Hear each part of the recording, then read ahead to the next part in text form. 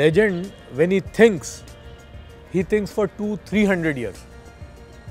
So, and people cannot understand. That's how uh, you know the people in those days, including the ulmas, they issued fatwas because it is beyond remit of ordinary people to even imagine that what a legend thinks.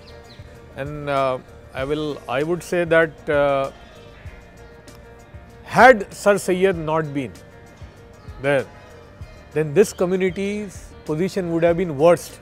I would imagine whatever education we have today, uh, at least in the higher education, you go around the world in last 40, 50 years, you will find people who have come out of Aligarh.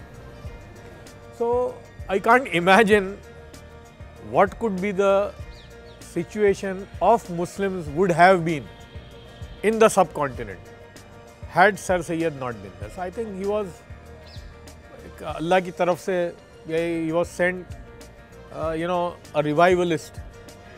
Because uh, the Muslims world over when during their heydays were known because of their educational prowess. And that in last two 300 years ever since uh, muslims were colonized right from algeria to uh, indonesia that education had totally been wiped off. So very earlier on 200 years back sir sayyid rahmatullah thought about that. So i think uh,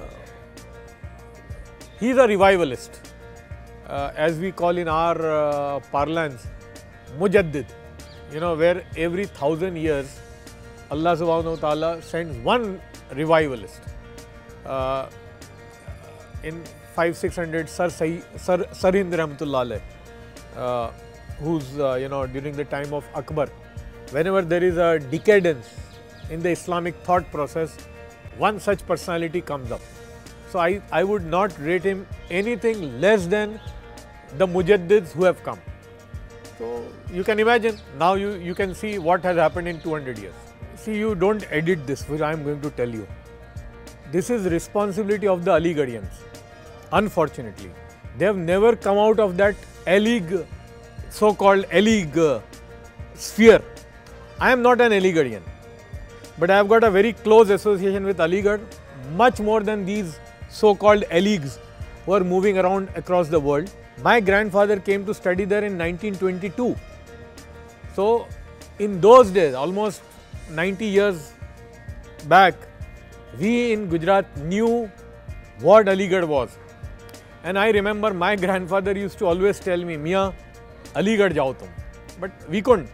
But I sort of compensated when I spent 40 days in Jamaat in Aligarh. Then I could imagine what Aligarh is. I spent almost 40 days in Aligarh University. I stayed in most of these SS Hall and you know. Then I could imagine what Aligarh is. It's not a university. It's a movement. And to restore that movement, it was the responsibility of the Aligarhians. And uh, I'm absolutely not ashamed to say this that they have not restored that responsibility.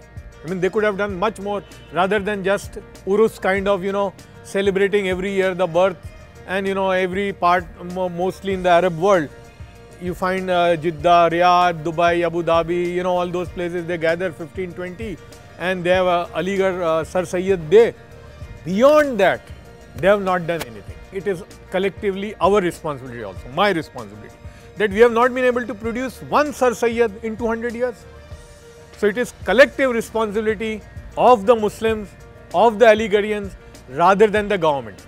Had we rose to the occasion, then the government of the day would have come up.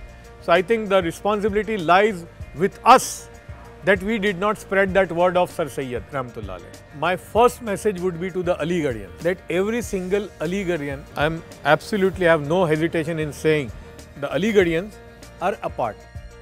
Now it is their responsibility, each and everybody. Don't wait for an NGO, don't wait for institution. Every single individual starts the movement the way Ali, Sir Sayyid started.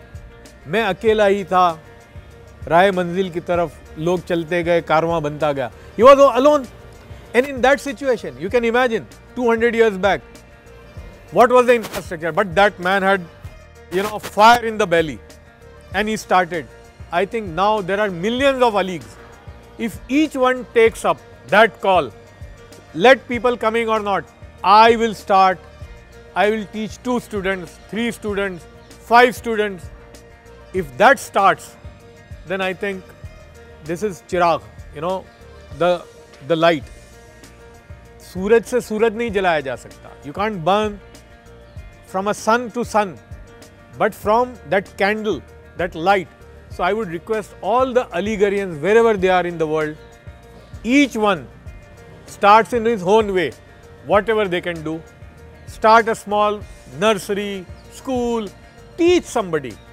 I think that's the way forward and then Muslims should understand that education is the only thing which will give you that place of respect. We have a lot of problems in the country, across the world. But we need to prioritize now, which is the most important thing. And in my opinion, the most important thing which Sir Syed recognized 200 years back, I think even today, that is our problem. एक हाथ में science एक हाथ में कुरान एक हाथ में कुरान एक हाथ में computer so I think still we are where we were 200 years back. Okay, let's draw the line and move from here because education is one single thing. If we have that, everything else will fall in place. That fire, I think the most important thing should be projected in the film, should be that fire in the belly. That was, see, that is the most important thing which that man is. What is Sir Sayyid for me? One man, but he had that fire inside. Can I? I want my community because you know those were the exactly similar situations if you take the time of Sir Syed, you know, the defeated psychology of Muslims, exactly we are in that same situation now. But we need somebody with that fire and he comes up, he comes ahead. So that fire should be projected more than anything else.